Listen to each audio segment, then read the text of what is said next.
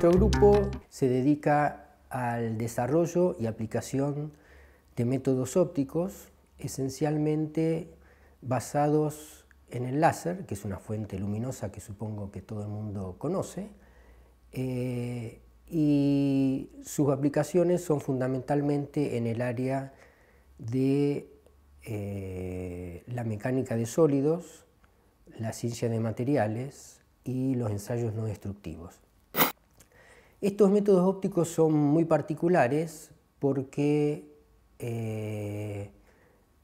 son métodos fundamentalmente, en el caso nuestro, para medir eh, deformaciones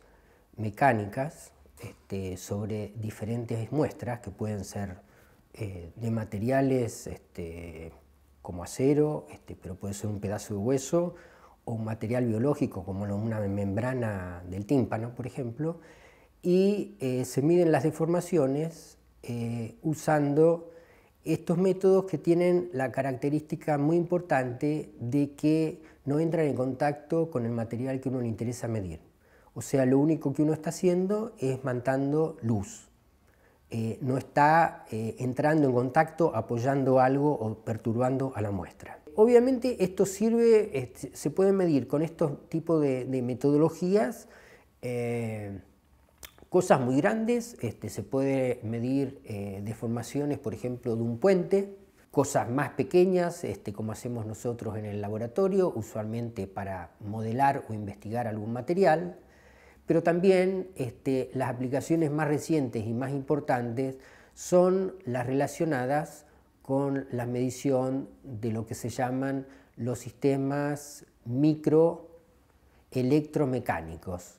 que en inglés este, se denominan MEMS.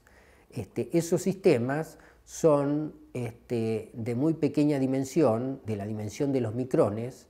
eh, para que todo el mundo conozca, un micrón es la milésima parte del milímetro, o sea, son componentes muy, muy pequeñas, por ejemplo, hay motorcitos que tienen esas dimensiones, y ese tipo de elementos son muy, muy comunes en distintas este, industrias, por ejemplo, instrumental, quirúrgico, en los autos, este, en los aviones, este, en numerosas industrias.